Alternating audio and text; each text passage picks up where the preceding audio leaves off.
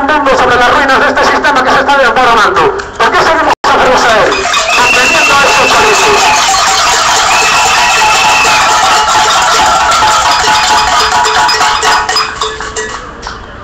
Tenemos la capacidad para crear una sociedad sin competitividad. Una sociedad basada en relaciones entre amigos, no en una economía de depredadores. Para crear una, sociedad, una sociedad de construcción común y no este juego competitivo entre vampiros.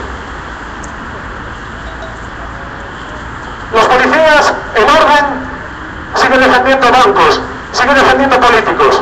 Como el argumento de soy un mandado y es mi trabajo, seguimos manteniendo las cosas.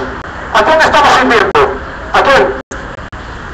Ahora, independicémonos del ver, de las etiquetas que han puesto sobre nuestras vidas, de los códigos de barras en los que nos han instalado.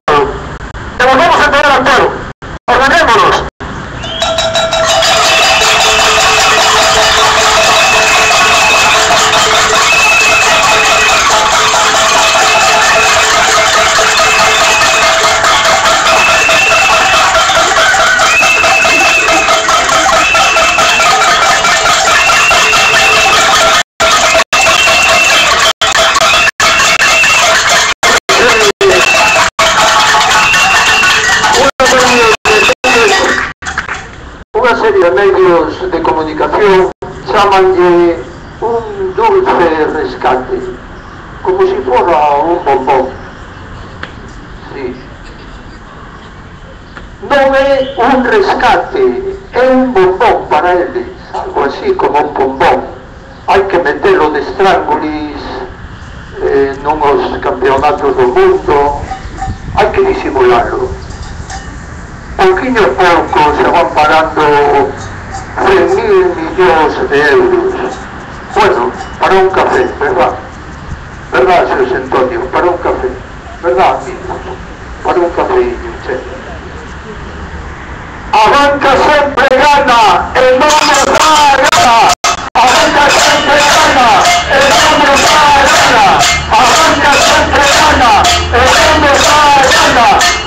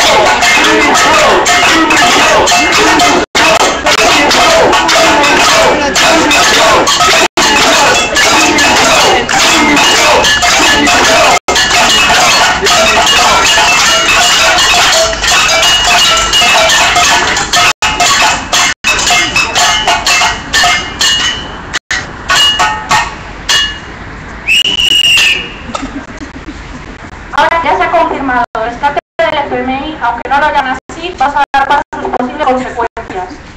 La esta bancaria ha alcanzado las dimensiones adecuadas para que se puedan reforzar los grilletes de la escaraveltud sobre la población. El juego siempre ha consistido en disfrutar de los beneficios y socializar las pérdidas. Todo el tinglado está diseñado desde el principio para ello. El dinero fluye desde la cúspide de una pirámide hacia abajo. Cada nivel de la pirámide va recaptando su parte. Tiene potestad para reclamar la parte de los niveles inferiores. Como cada nivel inferior es basado en los niveles inmediatamente superiores, es algo facilísimo. Cada nivel crea las leyes que obedece el nivel inmediatamente inferior y ejerce los medios colectivos violentos para mantener el orden establecido. Hasta que se llega a la base de la pirámide, en, el que, en la que habita la mayoría de la población, o sea, nosotros, es el nivel más frágil, porque recibe los palos de todos, pero también es el más fuerte realmente porque aguanta el resto de los niveles superiores. Aunque la inercia del victimismo hace que no se dé cuenta. Como decía, el dinero creado artificialmente desde la cúspide va disminuyendo en su cantidad mientras va realizando su descenso. Así, en el momento en el que los creadores del dinero deciden inventarse una crisis, es decir, retiran parte de la cantidad que normalmente pasa a los niveles inferiores, cada nivel inferior empieza a encontrarse con dificultades para mantener su status quo. Por ello, cada tal, por su parte, comienza presionando a los para recartar lo poco que les ha llegado abajo. A eso le llaman los recortes. Se cargan el, el estado de bienestar de los niveles inferiores. Ahora que ya no fluyen, no se pueden permitir que los de abajo tengan los servicios que se merecen. Pero para que los niveles medios, políticos y banqueros medianos se mantengan, a veces no basta con robar solo a los de abajo, sino que se tienen que arrodillar y pedir un rescate a los de arriba. Por supuesto, en la pirámide todos son esclavos, aunque vivan en jaulas de oro, excepto los de la cúspide, que son los que cortan el bacalao. Así que en la cúspide se a agrandar la deuda generada mediante un préstamo mayor. A ellos les da igual, al fin y al cabo pueden crear todo el dinero que les haga falta. Claro, ese préstamo tendrá que devolverse con unos intereses impagables. Por un tiempo, a las clases dirigentes de los niveles medios esto les dará igual. Estrangularán a las clases inferiores para ir pagando, como siempre, hasta que pasado un tiempo no muy largo, la deuda llegue a un punto de pago. En este momento se pone interesante. La cúspide les pide que les perdonar, les dice que les perdonarán, condonarán, esa es la palabra que la deuda, a cambio de ciertas condiciones. Condiciones como permitirles el control de parte del territorio estatal, el control de las empresas públicas mediante privatizaciones, el control de la educación de las clases bajas, y todo vendido a la población como algo inevitable, pues lo contrario sería el caos y vendría a comernos el coco. Poco tiempo la diferencia entre ricos y pobres, pobres sufre un agrandamiento tal que la distancia se convierte en insalvable. Incluso la clase, la clase pudiente, al acostumbrarse al dinero de los rescates, continúa creando las condiciones necesarias para que sigan llegando ayudas de este tipo. Por ejemplo, en los años 80, en Etiopía, se creó una hambruna en parte de la población para que fluyera el dinero a través de las ONGs, que son parte del mismo mecanismo internacional de conquista. Y así poder mantener vivo su ritmo de vida, comprar armas y todo eso.